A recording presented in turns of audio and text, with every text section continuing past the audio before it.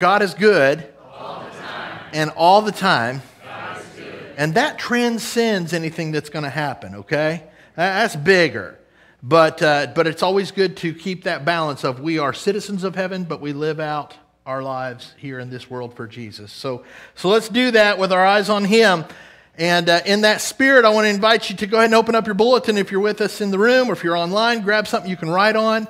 Uh, take some notes because we are going to dive into a new series today called All In. And uh, if you know anything about me, this kind of stuff just really just uh, jacks me up. I get excited. I, I don't think there's really any other way to live for Jesus other than full throttle. I just, that's just my nature, okay? And uh, it's so funny, as Ashley, as you were reading Ephesians chapter 1 there to us, just a little nerdy insight into that first chapter. If you know anything about Paul, first off, understand parchment isn't like something they just pull off the shelf like they have stacks of, okay? This stuff was not super easy to come by. That's what they wrote on.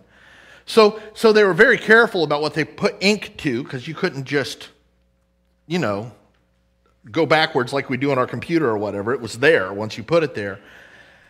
But those first 14 verses that, that Ashley read for us there at the beginning, when you, when you study it, it's a run on sentence.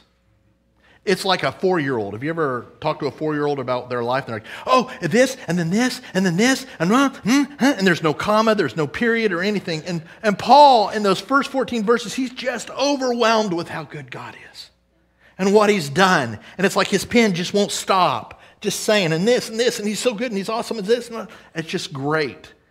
And that's the spirit that we want to kind of tap into as we go into this series, all in. I really hope this is going to encourage you as we go through this month and we think about living for Jesus every day.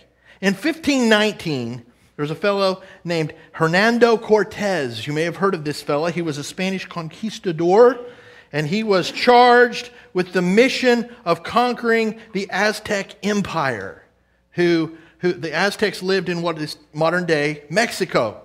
And so he set off on this mission from Spain in 1519 and landed on the shores of what is modern day Mexico. And upon going ashore, he famously gave the order to all of his men to burn the ships that were anchored just offshore, which sent a pretty clear message. We're not going back. Right? There is no retreat, there is no plan B. We're all in. Right? It's forward, period, only option. And, uh, you know, regardless of what you think of Cortez, that notion is powerful. And I want you to think this morning about the reality that as you journey through life and you come into contact with the reality of the gospel, that Jesus is God's Son, that we are sinners, that the cross is God's solution for that, and that our choosing and receiving Him. That is a burn the ships moment when we step into a decision to follow Jesus. There's no going back, right? I often think about Peter. There was a moment when Jesus is teaching, and sometimes he said some hard things. And the gospel would say that, you know, there were many crowds following him, but after he said this, many turned away and did not follow him anymore. It was like Jesus periodically would draw a line in the sand and say, if you want to be my disciple, we're going to look at one of those in just a moment. Uh, you got to do this and many would turn away. And at one point, he said to Peter, Are you going to leave also? And Peter, he didn't know anything about Cortez, but he got this point. He said, Where are we going to go? You hold the words of eternal life. There is no option B, there is no other Savior. It is Jesus, all or nothing. And, um, and so that's, I just want us to think about that as we talk and walk through this together. In Luke chapter 9, verses, uh, or verse 23, Jesus lays out one of these statements for us. Luke says, Jesus said to them all, Whoever wants to be my disciple, whoever wants to step into this new life of following me as Lord, must deny themselves first step of Christianity. It's not about you. That's like a big step. And that's a big deal because humans are kind of, our flesh is, is hardwired with, it's all about me. What do you mean? Everything that happens everywhere I go, I run it through the filter of do I like it? And if I don't, then I let people know about it. Right? Jesus said, No, no, no, no. In this kingdom, it's not about you. So that's the first thing. And then, just to kind of add another layer to that, you must deny yourself and take up your cross, which the first century folks would have totally understood. Count yourself dead to this world. Count yourself dead to your old life. It's really like doubly not about you. right? Uh, count yourself dead to your old life. You're stepping into a whole new life. And then I love that Luke adds Jesus' word daily. How many of you at some point in your life have made a real commitment to Christ and it was just an incredible season and you said, I am all in with Jesus? And then three weeks passed and you're like, oh, I, I got to get back there. I got to go back because I, I, I got to do it again, right? Because it kind of waned, or it, like, like uh, Ashley was mentioning, you know, the eyes of our, our heart kind of got a little cloudy and, and we lost sight and we got to continue to refresh. And I love that Jesus says, hey, this isn't just a one and done. This is an every day. You wake up. This is the day the Lord, the Lord, my Lord, has made, and He is my Lord, and it's not about me. And as I slip out of bed this morning, I take up my cross and acknowledge that I don't live for this world, I live for Jesus. And then He says, and follow me. And you know, to follow Jesus means, like we said all last month, it means to fix, lock forever on continually on your true north. That's what we said all last, last, month, right? Jesus. Lock your eyes on Him. Fix your eyes on Him. You can't follow somebody and look somewhere else. You'll lose them. You gotta fix your eyes on Him. You can't run ahead of them. If you run ahead of them, you're not leading, or they're not leading anymore. You are. Anybody ever struggle with kind of getting ahead of the Lord? Right? No, no, no. Fix your eyes on Him. Stay behind Him. Let His time, let His leading, let His truth, let His word guide your steps and then go where he follows or follow where he leads. You can't say you're following the Lord when he leads you here and you go over there, right? That's huge. And you're really not going to be able to do those three things unless you've died to yourself. Because self is always going to want to kind of do the other things. It's going to want to run ahead. Oh, I don't like over there. I want to go over here. Right? It's huge. This is, this is what it means to be all in for Jesus. Now, First off, let me congratulate um, Tennessee. You guys won big yesterday. Sorry, Scott. I'm sorry. I know you love Kentucky, uh, but that was a good game. And how about Tech? I looked up the score. It's like 52 to 10. I don't know if you guys are aware, but we have a college or university down the road. they play football, and they won big. Well, you know, my team's Notre Dame, and, and before we got Coach Freeman, we had a fellow named Brian Kelly, and I like, kind of like to razz him sometimes, but he did some good things while he was uh, leading my team. And I remember a conference, a media conference that he had at one point, and they were talking to him about the quarterback, the performance of the quarterback, and how he could improve, how he could get better. And he said something I thought was really interesting. He said, He practices well when, when we're walking through the schematics and executing the, the drills and doing the things, he, he's, he's, he's, his execution is great. We've just got to help him carry it over to game time. Right? we got to take that execution in the theoretical and flesh it out in the real. And I don't know about you, but there are seasons of my life when I'm a better theoretical Christian than I am a real one. I got it up here. I understand. I could pass the test. But then when it gets to my attitude in this situation, my willingness to serve, my willingness to say it's not about me in these moments, I need some help. And praise God we have it. But I need some help carrying it over to real life, the game, right? Living for Jesus. By the way, this is why we have the word send in our mission statement.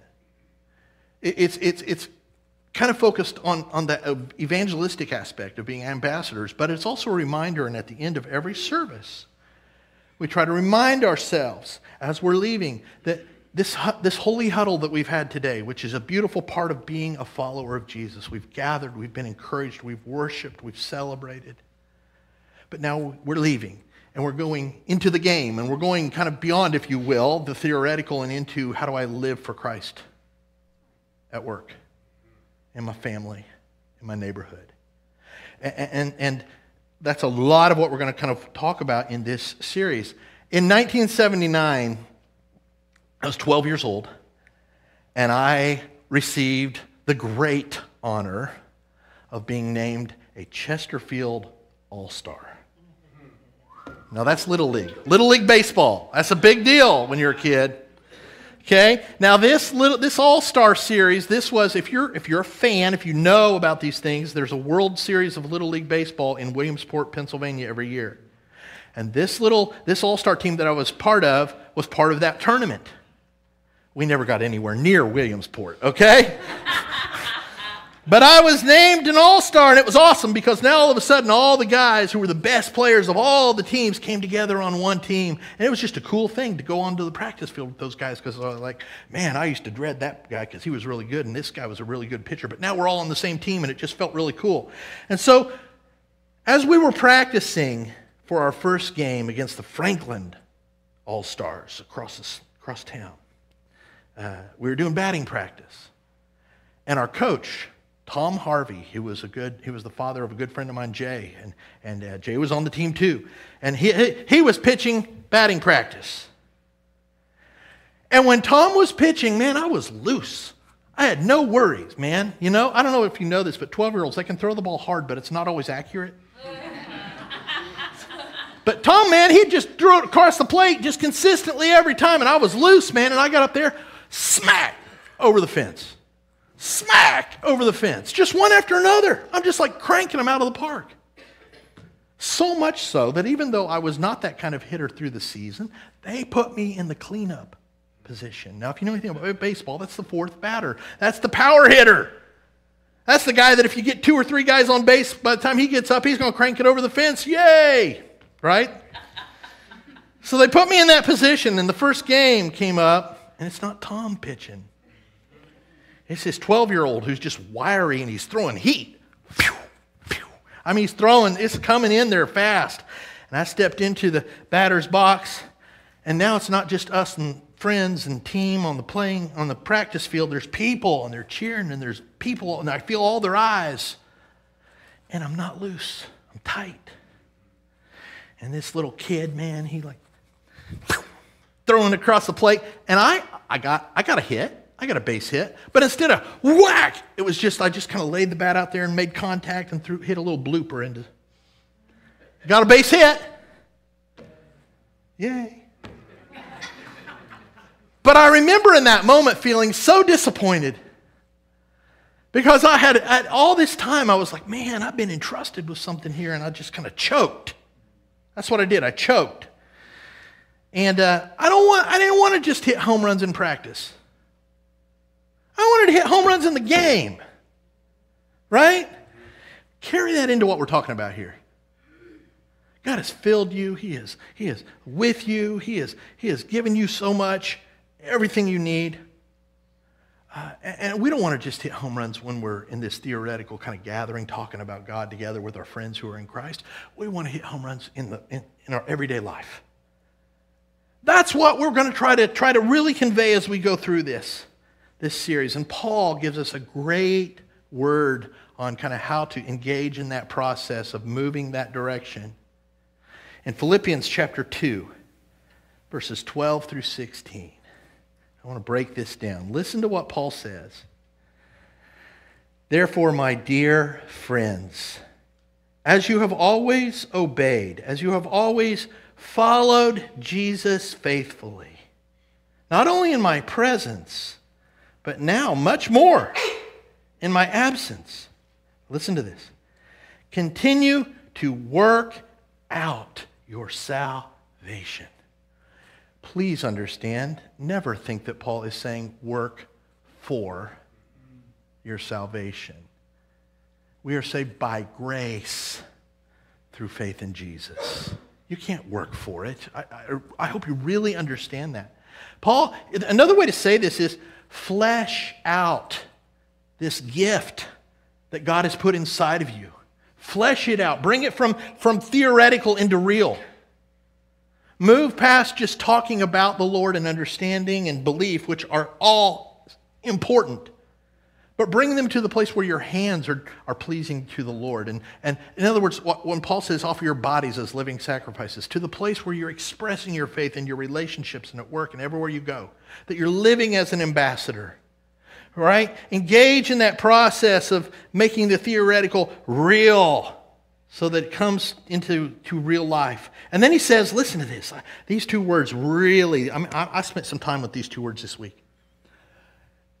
Work out your salvation with fear and trembling.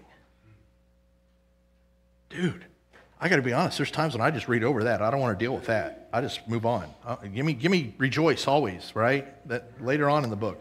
But anyway, work it out with fear and trembling. These are awesome words. Listen, and they help us understand what Paul's saying here and in the verses that follow. He says, Work out your salvation with fear and trembling. Fear, it's the word phobos in the Greek. It's the word we get our word phobia from.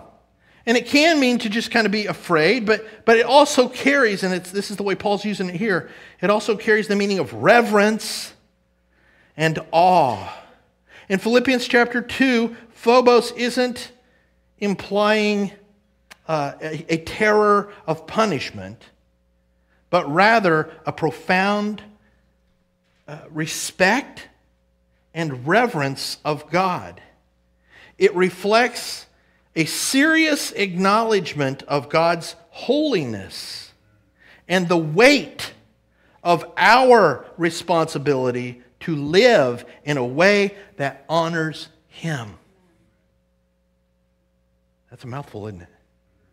That's what it means to be phobos of, of God, to, to work out your salvation with fear, to be aware I serve a holy God, and He's called me He's, he's given me everything I need, but He's called me to engage. He's called me to be intentional about choosing Him every day, about taking up my cross every day, about saying, Lord, I don't just want to know about you, I want to live for you. I want this, these things that I know to be true in my heart about who you are to be manifest in the way I walk and talk, and my attitude, and my service, and my righteousness in terms of my living and my lifestyle. I want to, to, to be all in. The next word is trembling. What a word! Tromos is the word. Um, and it conveys a physical sense of shaking and quivering. When's the last time you became so powerfully, overwhelmingly aware of the holiness of God that you shook? That's what Paul's saying here. That we, we are so powerfully, palpably aware of the holy God that we serve, that we serve him with trembling. And it's not just a, a scared to death trembling, it's an awe. It's, it's an overwhelming, just blown awayness, if you will. Combined with this, this trembling word, combined with phobos or fear, um, suggests a sense of solemn awareness of God's greatness power and majesty.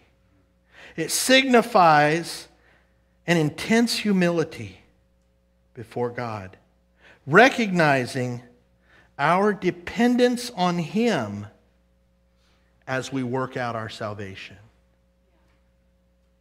There is a genuine, see, this is, this is really and truly getting to the heart of what it means to say that Christianity is not a religion.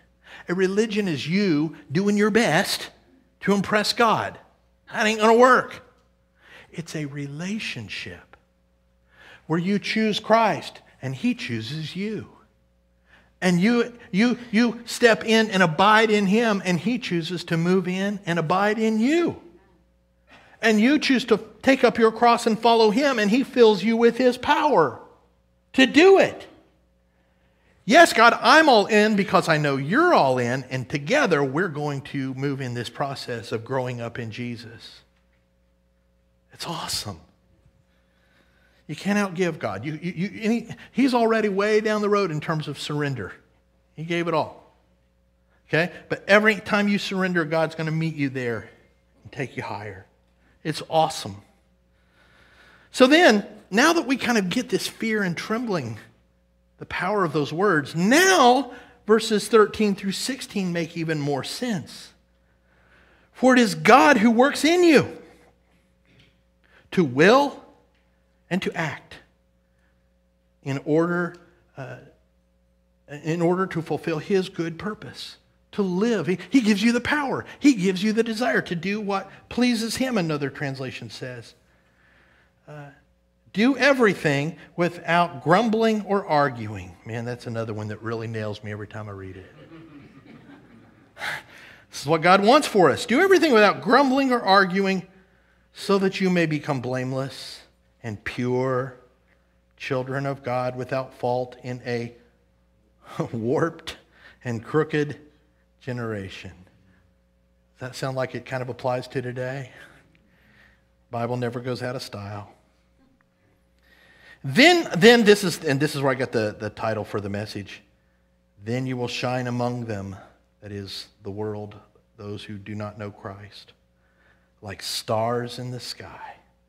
And listen, if you grew up in the city, you have no clue what Paul's talking about here unless you've been out in the middle of nowhere where there's no man made light and you've looked up on a clear night and you've seen the, the just explosion of stars and how bright they are and how beautiful and magnificent they are, that's what Paul's talking about here. Okay, he wrote this before streetlights. and so he said, Look, that's you. As you live for Jesus in this warped generation, you're going to stand out like beautiful stars. And I really believe that Paul was also connecting with that, that the people used stars to navigate. They knew where stars were and they gave them signs as to how to move through life and where to go and how to get to that city. I follow that star and move over this way. You're going to be people that point the direction for people. It's awesome. And this, so you're going to be an all star, if you will, for Jesus. Um, as you hold firmly to the word of life, Jesus is the word and his, his scriptures are the, the, the, the, written word. And as my grandma always taught me, the written word, Bratty boy, leads you to the living word. And so as you hold firmly to that, and Jesus is the way, the truth, and the life, as you hold firmly to Christ in every way, you're going to be a star that shines for the Lord. And this is, this is all kind of dependent on a desire to say, Lord, I'm all in. I'm all in. I'm all yours. James chapter 1 verse 22. James says, "Do not merely listen to the word." Um, I looked this word up and spent a little time with this whole listen. It, James is using a word here that, that people would use like saying, Oh, I'm going to go to the community center today and hear a lecture. Right? You want to hear someone speak on a topic. Oh, that was a nice speech. You know, I, I listened, I heard words. It was cool, it was nice, whatever. But it doesn't have, you have no intent of it actually impacting your life or changing the way you live. And that's what Luke, Luke, or not Luke, but James is saying, don't do that with the Word of God. Just don't just merely listen to the Word and so deceive yourselves. It's a warning. It's a warning. James is saying, look, I'm going to tell you, I'm going to teach you something about human nature. We're good at deceiving ourselves into thinking that, hey, I've learned a lot of stuff. I have, I have a lot of head knowledge. And we can begin to deceive ourselves into thinking that knowing a lot about Jesus is the same as following Jesus. And it's not. Listen, I could study and, and, and I could write a great paper about a combustion engine. And I would understand it theoretically, how that engine works. But don't ever hand me an, a, a wrench and tell me to fix your car. Not if you want to drive it. I'll destroy it. Because there's this massive gap between theoretical information and living it out. Right? And that's the call, and that's what James is calling us to. He, he says another place in, in James, he says in chapter 2, verse 19, even the demons believe and shudder. Even the demons. Do you know? I don't think this is controversial to say. I, in many ways, the demons know more about Jesus than, than we do. In the sense that these are among the, demons are those angels who were in heaven and who were cast down when Satan rebelled. A third of the angels were cast down with him. They've seen him face to face. But you know what demons don't do? They don't repent, they don't trust, they don't obey, they don't surrender, they don't acknowledge him as Lord. And so James says, don't, don't just say you believe this stuff, but surrender and do those things. So, so, so James, what, what's the solution? In, uh, in James's very rubber meets the road simple answer, he says, do what it says. I mean, I know that's simplistic, but that's kind of James. Don't just listen to the word, do what it says. Carry it, carry your theory over to the game. Live it out. And please, I, I really want to be sure and, and say, James is not, and some people have accused him of this, but he's not preaching a works salvation. Oh, you got to do all. We're not saved by works, but we are saved unto them. We are saved unto a righteous life. We are saved unto a life of obedience, of, of following Jesus. And this is what James is getting at. He's saying, go all in. Go all in with your devotion and say yes to everything that the Lord's calling you to, and He'll help you and meet you halfway and help you grow in that. Jesus is Lord. Now, I want to take what we've said in all of this this morning and bring it down to four verses of Scripture.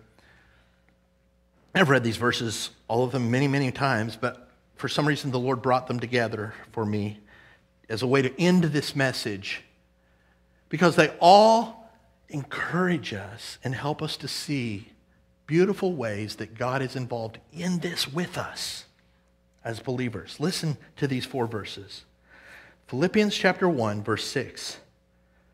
Paul, writing to Christians, says, Being confident of this, that he, God, uh, who began a good work in you, believers, when you stepped into this life of denying yourself, taking up your cross, and following Jesus, he who began that good work in you, he will carry it on to completion until the day of Christ Jesus. Now, listen, this is why all of our testimonies have a chapter in them that says something like, I'm not who I used to be, praise God, even though I know I'm not all that I should be. Because we're somewhere on that journey. We're not finished. We're not a, is anybody a finished product? No. But praise God, we're not who we used to be. We've been born anew and we're on a journey, and God is working in us, and we're aware of that work. That the, as the Holy Spirit convicts and leads and prods and inspires and, and, and, and offers grace when we stumble and fall down and picks us back up, and He's working. And it's all about making us more like Jesus. Okay, so that's the first verse. God started a work and He's going to carry it on to completion. By the way, you know when it ends? when the trumpet sounds the sky splits, dead in Christ arise, and all arise, and all of a sudden the mortality gives way to immortality. And we're given a glorified body. Ching! And if you're alive, wow, you just get to feel the exhilaration of being changed in that moment. But if you're not, you'll be raised immortal like Jesus. We will all be made like him and be with him forever. Awesome. So he's going to bring it to completion. Now, the next verse, I got to kind of add a little uh, comment here. It's, it's the wrong passage, okay? Uh, I, I, don't know how I, I, went over this with Kara and, and I missed it by one verse, okay? I've had a lot on my brain here lately. But anyway, it's not uh, Philippians 2.12, it's Philippians 2.13. So write that down. And this is the verse where, and I'll just paraphrase this, but this is the verse where Paul assures us that God is working in you, giving you the power and the desire to do what pleases him. That's the New Living version of that, okay? He gives you, you need power to, to serve the Lord? Amen. Do you have enough on your own? Uh uh-uh. uh Does God's, God gives it to you. Do you need desire to serve the Lord? Do you, does your flesh sometimes say, mm, don't really want to do that today? Of course. But God will give you the desire and the power to do what pleases Him. He's at work doing that. Isn't that awesome? Okay, third verse. Romans chapter 8, verses 28 and 29. Another one of those verses we, we, we know and love. And we know, we're not guessing, it's not speculative. We know that in all things, I don't know what you're going through right now, but it fits into all things. Okay? God in all things works, He's active for the good. And He'll tell us what good is here in just a moment. For the good of those who love Him I, can't, I, I never can read that without making this comment. Love is a verb. Love is a verb. Love is a verb. Love is a verb. He's not saying those who have warm, gushy, nice, sweet feelings toward God. No. Those who love Him with their heart, all their heart, with all their strength, with all their mind, with their life. They love Him in this all in devoted, disciple, deny yourself, take up your cross, and follow Him way. God is at work with those who are in that process of loving Him um, and who have been called according to His purpose. And then He tells us what that purpose is. For those God foreknew, He also predestined uh, them to be conformed into the image of His Son. That's the journey we're on. That's spiritual growth. The convictions that God brings into our life to say goodbye to that or to step into this. The grace that God gives us to sustain us and teach us and shape us as we go through that valley. The truths that God brings to our mind as we sit in a study and hear something, and all of a sudden something starts to stir in our heart that we hadn't seen before, and we go, I need to take a step of obedience in that area of my life. Or all of those things. God is working in the mountaintops and the valleys, shaping us, making us more like Jesus. From glory to glory to glory to glory to glory. So that, and I love how this ends, or this, this, this particular verse ends.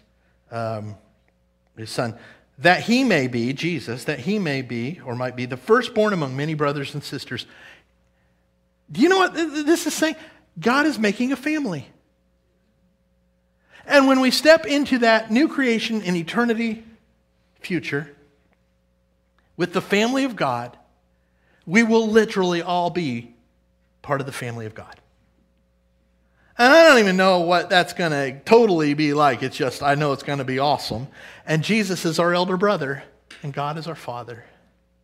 And so he's making us like him in our character, in our devotion, in our purity. It's awesome. And then the last verse Psalm 139, verse 5. David says, You hem me in, behind and before. You're running ahead of me.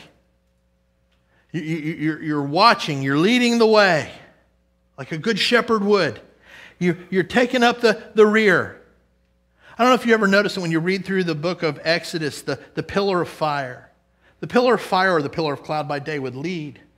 And, and there were times when enemies came and the pillar of fire would move from the front to the back between Israel and her enemies to protect them. You hem me in.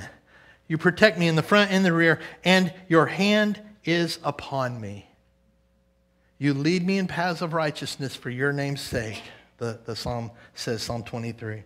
So, as you engage in this fleshing out of your salvation, going all in, here's what you can know. Fill these blanks in. God is at work in you. His Spirit is at work in you, moving, leading, prompting, calling, challenging, protecting, inspiring.